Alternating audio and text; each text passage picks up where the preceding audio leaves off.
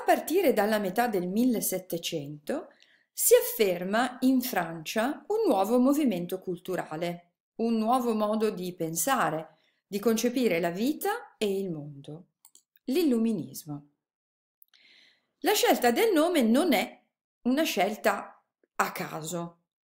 Illuminismo ci ricorda illuminare, la luce. È la luce che ci permette di vedere bene le cose, quindi è la luce della ragione che può eliminare il buio dell'ignoranza. Già nel secolo precedente, nel 1600, la scienza aveva fatto enormi progressi. Basta pensare a Galileo, alla nascita del metodo scientifico.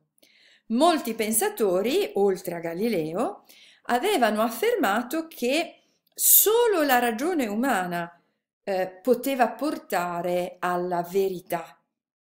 Quindi comincia ad affermarsi un'idea di sapere laico, laico cioè non legato alla religione. Significa che eh, non bisogna prendere per vero, vero nel senso di scientifico, tutto ciò che c'è scritto nella Bibbia, perché la Bibbia è un libro religioso. La scienza, invece, ehm, deve basarsi sull'osservazione, eh, sulla dimostrazione, sullo studio degli avvenimenti sia storici che naturali mh, mm, e poi eh, supportare eh, le nuove teorie, le ipotesi con delle prove, prove che possono essere ehm, supportate anche grazie a nuovi strumenti che proprio in questo periodo vengono eh, concepiti e realizzati.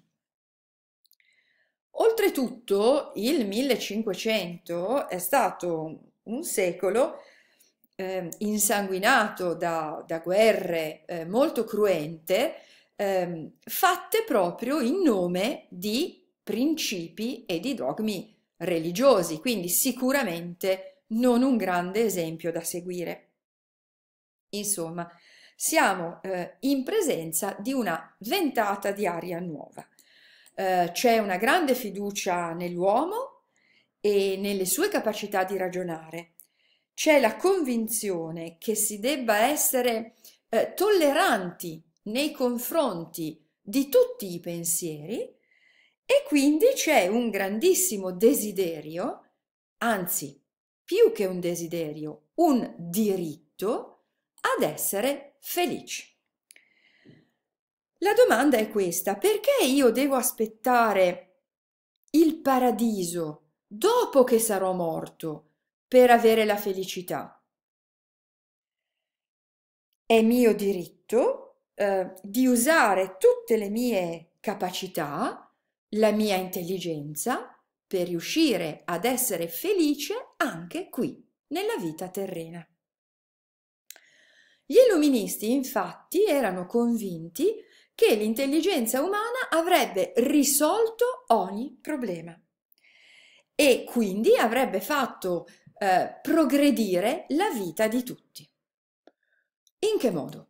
Ma principalmente con l'educazione. La mente delle persone deve essere educata. Bisogna insegnare a tutti a leggere e a scrivere, a elevarsi culturalmente. Se si rimane ignoranti, non si potrà mai realizzare nulla, ma se io non realizzo nulla, difficilmente potrò essere felice. Allora, chi possiede questi elementi, questi strumenti, queste capacità, ad esempio gli intellettuali, hanno il dovere di mettersi a disposizione di chi invece è stato meno fortunato. E nello stesso tempo, sempre gli intellettuali dovranno anche rivolgersi ai governanti per indicare la strada giusta, perché l'obiettivo che si vuole raggiungere, cioè eh, la felicità e il benessere, è un obiettivo che riguarda tutti gli uomini, nessuno escluso. e anche questa è una enorme novità rispetto al modo di pensare che fino a qui hai studiato. La società però in cui vivevano gli illuministi era molto diversa da queste idee. C'era un re che governava in modo assoluto. Eh, ricordati che l'illuminismo nasce in Francia. Dopo Luigi XIV c'è Luigi XV che comunque non è da meno. E poi ci sono delle classi sociali che sono molto rigide. Cosa significa rigide? Che eh, chi appartiene a quella classe sociale rimane in quella classe sociale, non è possibile un cambiamento. Eh, c'è il clero con tutti i suoi privilegi e c'è la nobiltà. Clero e nobiltà erano le due classi, i due ordini, i due stati che avevano in mano completamente il potere. Poi c'era la borghesia, che pur essendo la parte più attiva della popolazione, era però esclusa di fatto dal governo.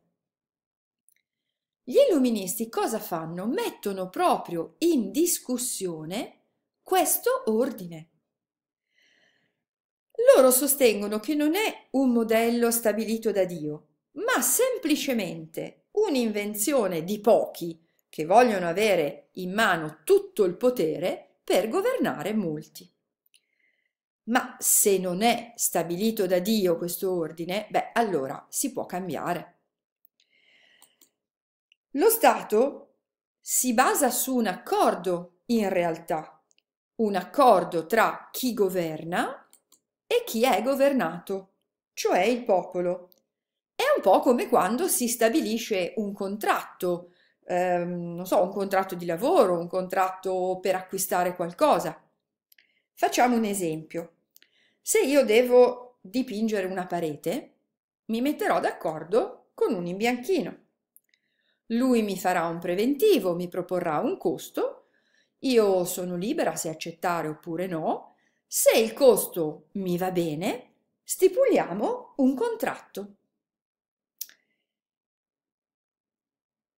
Quando però il lavoro è finito, se eh, le mie pareti sono verdi e nel contratto c'era stabilito che avrebbero dovuto essere rosse, eh, questi non sono gli accordi, non sono stati rispettati, quindi io ho tutto il diritto di rifiutarmi di pagare l'imbianchino, perché noi avevamo fatto un contratto e l'imbianchino non l'ha rispettato.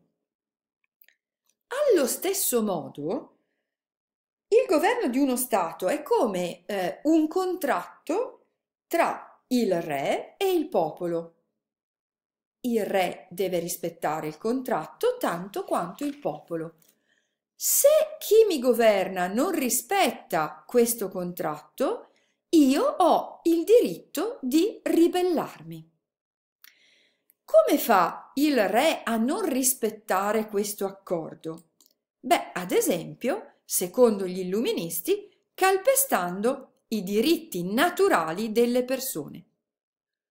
Diritti naturali, cioè diritti che nessuno può togliermi, perché sono proprio caratteristici della natura umana, sono dei diritti importantissimi. E per gli illuministi i due diritti più importanti sono la libertà personale e l'uguaglianza davanti alla legge. Queste sono le idee nuove che si devono affermare. Secondo gli illuministi, chi non la pensava così viveva nel buio dell'oscurantismo privilegi dei nobili, la censura che mi impedisce di scrivere o di dire quello che penso, le persecuzioni religiose, queste per gli illuministi sono idee terribili, vecchie, tipiche di un vecchio regime. Gli illuministi invece volevano un mondo nuovo.